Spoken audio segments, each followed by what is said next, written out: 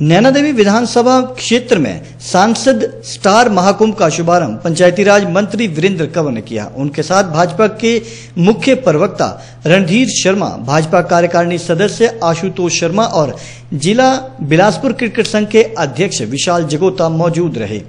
नैना देवी पहुँचने पर स्थानीय लोगों ने मंत्री का जमकर स्वागत किया। पंचायती राज मंत्री वीरेंद्र कंवर ने कहा कि स्टार क्रिकेट महाकुंभ एक ग्रामीण प्रतिभाओं को निखारने का अनूठा प्रयास है।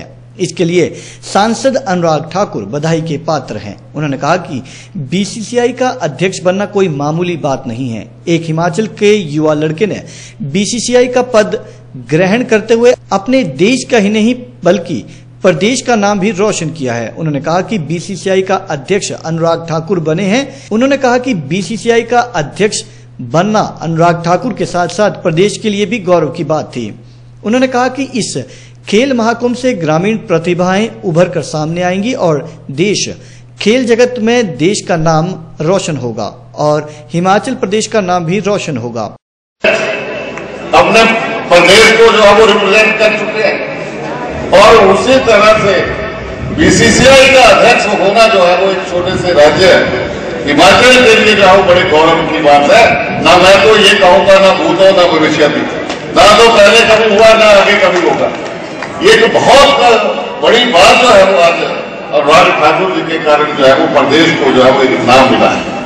और अपनी छोटी सी उम्र में ही जब वो एनपीसीए इस मौके पर भाजपा प्रवक्ता रणधीर शर्मा ने कहा कि सांसद अनुराग ठाकुर ने हमेशा से ही विकास को मुद्दा बनाया है और जिला बिलासपुर का विकास जिस तरह से उन्होंने करवाया है, वह एक रिकॉर्ड है। उन्होंने कहा कि सांसद खेल महाकुंभ एक बहुत बढ़िया प्रयास है, जिससे ग्रामीण युवा और युवतियों को बेहतरीन मंच मिलेगा, जहाँ से वे देश का प्रतिनिधित्व कर सकते हैं।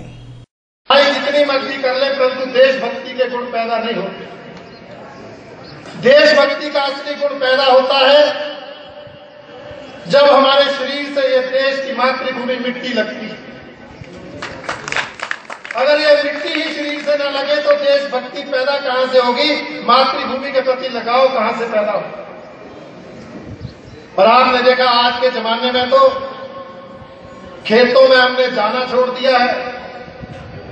घर के आँगन और कमरे पक्के कर लिए हैं। अब तो रसोई में भी चप्पल पहन कर ही जाते हैं, शरीर को तो क्या, पैरों को भी मिट्टी नहीं लगने देते। इसलिए जब शरीर को मिट्टी नहीं लगेगी तो मातृभूमि से लगाव पैदा नहीं होगा। ये कबड्डी और कुश्ती ऐसा खेल है, जिससे पूरा शरीर मिट्टी से ओत प्रोत हो जाता है, मातृभूमि से लगाव पैदा हो जाता है, देशभक्ति का गुण पैदा होता है।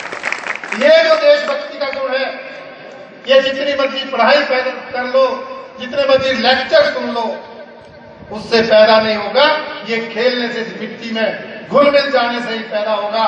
इसलिए इसका महत्व